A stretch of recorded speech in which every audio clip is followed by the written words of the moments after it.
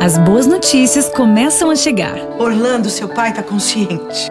Então o que a gente tá esperando, Marina? O doutor Raul avisou que não podemos ir agora, porque já passou o horário das visitas. Mas Isabela quer ir ao hospital de qualquer jeito. Você sabe que isso vai dar problema, né?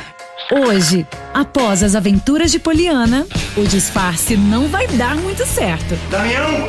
O que é que você tá fazendo aqui vestido dessa maneira? Cúmplices de um resgate.